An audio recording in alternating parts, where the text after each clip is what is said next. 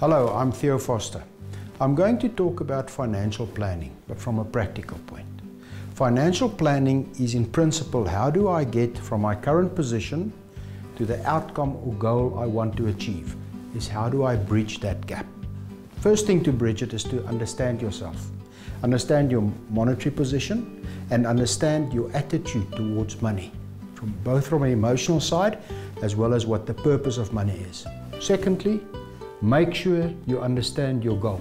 What do you want to achieve with this money? It can be multiple goals and then build a bridge from your current situation, taking into account your emotional feeling towards money to get to the outcome. The principle here is that you want to get to an amount you have to put away monthly in a vehicle suitable for your specific needs with an asset allocation that will make sure that you achieve the outcome you want to achieve. And if you get those things in a line, then you have a proper plan. Remember the role of the financial planner is not to be your friend.